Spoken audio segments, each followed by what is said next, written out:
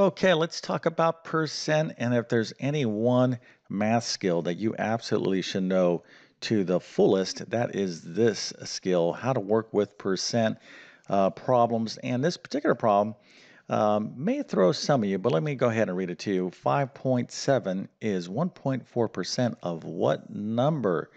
Now, there's a couple different approaches you can take to get the answer.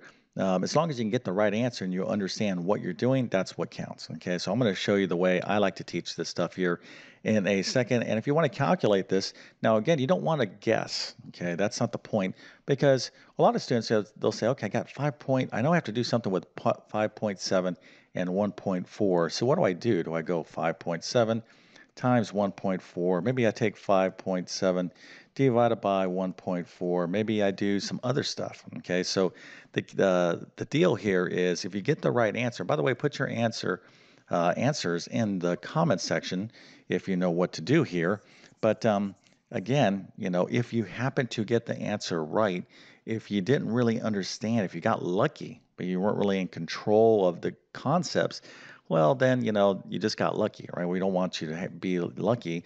I want you to really absolutely know this stuff. Now, again, the way you learned percent in school, maybe that was 10 years ago, 20, 30, 40, 50 years ago, whatever the case is, if it works for you, stick with it, okay? As long as you know how to do this problem confidently, that's what counts. But you do definitely need to understand percent. It's such a practical math skill that um, I'm going to go ahead and review how to do a problem like this in just one second.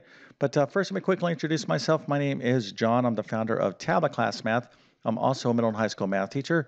And um, I'm going to leave a link to my math help program in the description of this video. But if you're struggling in mathematics, maybe you're not getting enough math instruction, uh, or maybe you're not connecting with your teacher's teaching style, Whatever the case is, I've been teaching math for decades. I really break things down step by step, and I really pride myself in trying to teach math in a clear and understandable way. So if you're at the middle school, high school, or even college level in terms of mathematics, I can help you excel in math. Uh, irrespective of where you're at right now. Now, if you're preparing for some test that has a math section, I'm talking about things like the GED, SAT, ACT, GRE, GMAT, ASVAB, Accuplacer, ALEKS exam, CLEP exam, teacher certification exam. You get the idea. I can help you prepare and pass those exams. If you homeschool, I have an outstanding homeschool math program. Um, again, you can just go to my math help, uh, my website, which I'll leave the link in the description of this video. All this uh, information will be there. And if you don't have any math notes, you can use my math notes. I'm going to leave links to my math notes in the description of this video, but I'll tell you right now, after decades of teaching math, it goes without saying that if you want a great grade in math, you have to take great math notes. Okay, so let's get into 5.7 is 1.4% of what number? Uh, by the way, please feel free to use a calculator, okay, and put your answer in the comment section. But let's go ahead and get into it now.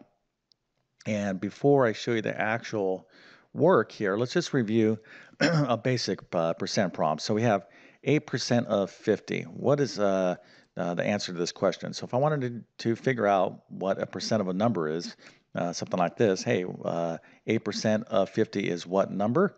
Okay, well, how do we do that? Well, the first thing we need to do is change our percent to a decimal. Okay, now how do I do that? Well, there's two ways uh, we can do it. So 8%, if you want to change it and rewrite it as a decimal, you can divide 8 by 100, okay, and you're going to get 0.08. However, now most of you were taught this way, and, and I think this is a better way to kind of remember it. 8% is the same thing as 8.0%. Uh, Let's, uh, and I put that there uh, explicitly so you know where the decimal point's at. So 8%, the decimal point is 8.0. Here is a decimal point. So the way you can go from a percent to a decimal is you can move the decimal point over two places to the left. So that would be 0.08. Okay, so anytime you want to go from a uh, percent to a decimal, what you need to do is you got to move that decimal point over two places to the left, okay, or divide by 100. Same thing. All right, so 8% or 8.0% is 0.08 as a decimal. And then all we're going to do is multiply or take that decimal and multiply it by the number that we're trying to find the percent of. So it's going to be 0.08 times 50. And we can use our calculator, we get 4. Okay, so 4 is 8% of 50. All right, so hopefully uh, that kind of you know rings a bell with you. You're like, oh yeah, I knew that. Well, if you know this, then we can then tackle this next problem here, the problem we're actually trying to figure out. I love to do this using basic algebra. Okay, now again, if you learn this or if you remember how to do this differently, that's perfectly fine as long as you're like, yes, I know how to do this problem. My teacher taught me this back in 1997, uh, and I remember this to this day, and I get these problems always right. That's fine. Stick with that way. I don't want to change what you uh, know. Um, however, if you are confused about this, well, this is the way I'd like you to kind of uh, approach this. So what we're going to do is take our problem here, and we're going to translate it or rewrite it into like an algebra equation. And this is not that difficult. So let's let me show you what's going on here. So 5.7, okay, that's 5.7 here, right? That's what that is.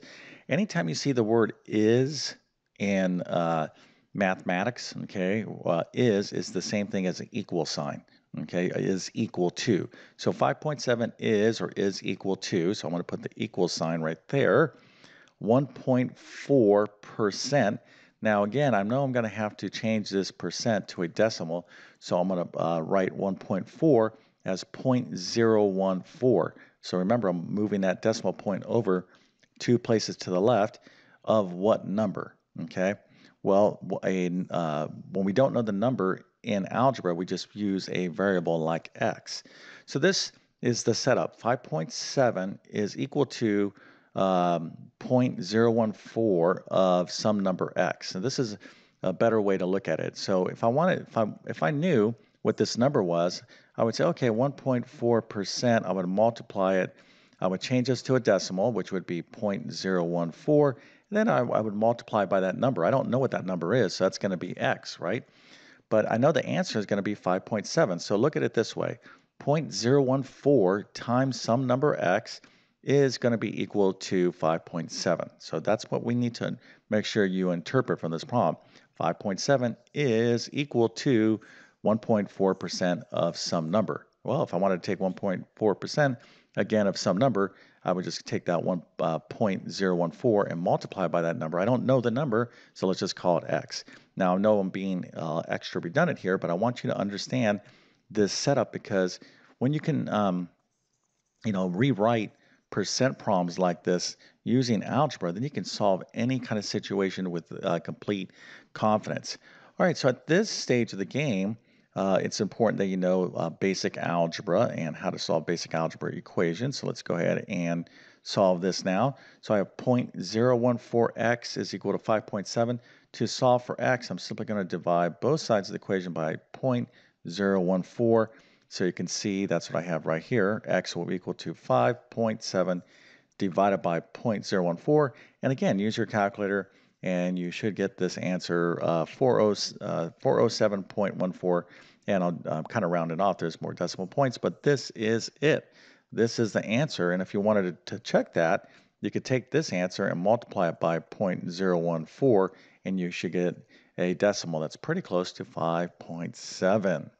All right, so 407.14 approximately is the right answer. And if you uh, knew how to do this precisely, maybe you did it in this way, maybe you did it in a different way, I don't really care. As long as you are confident and you know how to handle these percent problems, then I must go ahead and give you a nice happy face with a good old 1983 Mohawk. That was a great year and an A plus.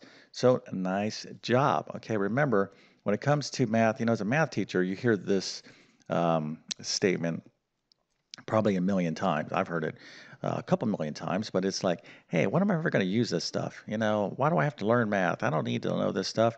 Well, you know, when it comes to percent, believe me, you probably use it on a daily basis. You don't even realize it, right? You got to really, really understand percent. And not just the basic percent problems like this, like 8% of 50, you know, the little more, the, the more interesting problems like this as well. Okay, so hopefully this was a good little review about percent. And if that is the case, if this helps you out, go ahead and smash that like button. That definitely helps me out.